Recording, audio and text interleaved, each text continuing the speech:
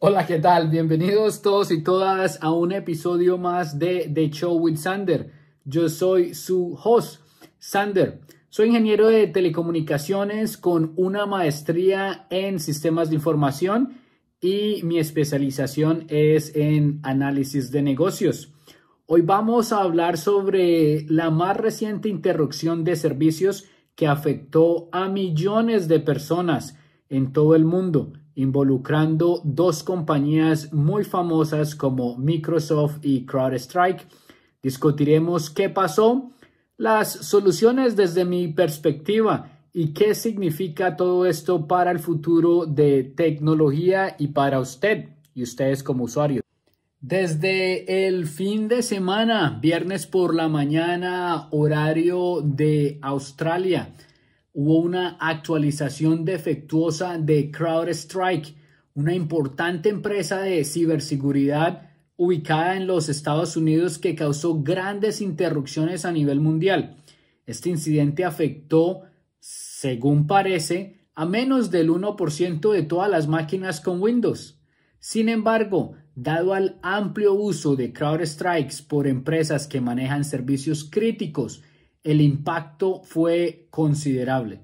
Microsoft estimó que fue alrededor de 8.5 millones de dispositivos con Windows que fueron afectados.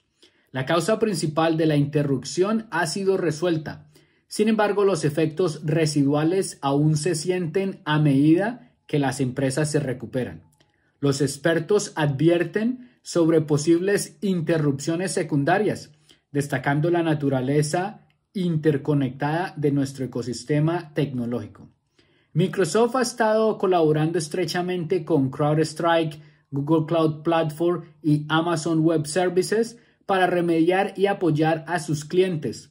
Han desplegado a cientos de ingenieros para trabajar directamente con clientes asegurando una rápida restauración de los servicios.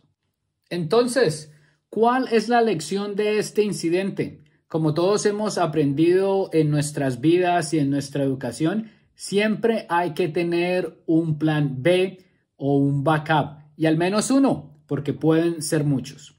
Primero es un claro recordatorio de la importancia de tener una infraestructura de tecnología diversificada.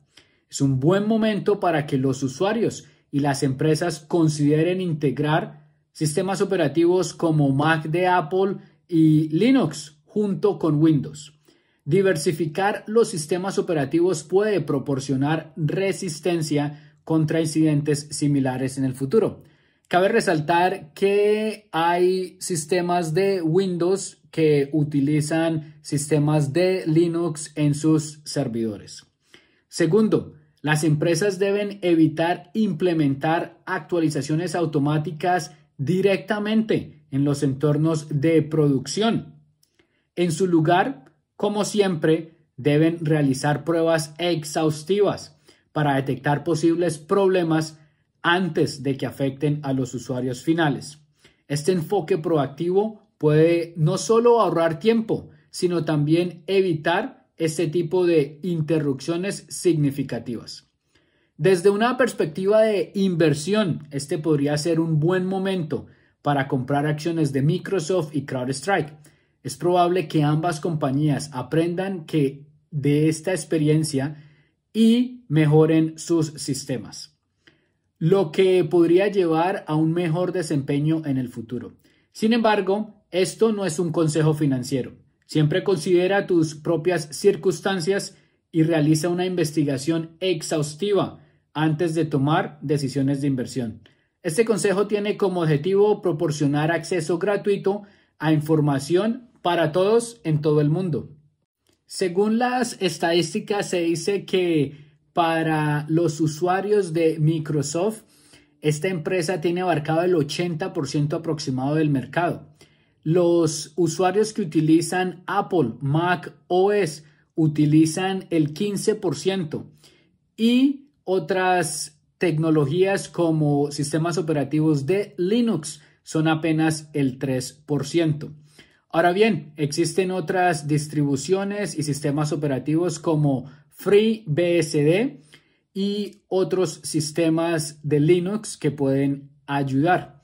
Si comparamos esto también con sistemas móviles o sistemas operativos que se utilizan en teléfonos, por ejemplo, encontramos que Android es el líder con el 42.73%, seguido por Windows con el 28.8 o 08%, 28.08%, iOS, que es el de Apple en los sistemas y celulares de iPhone, con el 17.93%. Mac OS de Apple en los computadores está con el 5.72% y tenemos en los computadores de casa Linux con 1.52%. Se dice que sistemas operativos como el Chrome OS y otros más pequeños hacen lo que queda del 2.72%. Aunque la interrupción fue un evento significativo para todos y todas, sirve como catalizador para mejorar nuestro enfoque hacia la infraestructura de tecnología y la ciberseguridad. Es una oportunidad para que no solo las empresas, sino nosotros como usuarios revisemos nuestros planes de recuperación ante desastres y para que todos tomemos una mayor conciencia en diversificar nuestro conjunto de tecnologías. Además, es importante recordar que como usuarios tenemos el poder de elegir y usar diferentes sistemas operativos en nuestros hogares, ya bien sea Windows, Mac, Linux podemos seleccionar la opción que mejor se adapte a nuestras necesidades. Gracias a todos ustedes por escuchar el día de hoy de Show with Sander. Si encontraste útil esta discusión, recuerda darle me gusta, seguir y comparte este podcast con tus amistades y familiares. Mantente seguro, informado y hasta una próxima oportunidad. Chao.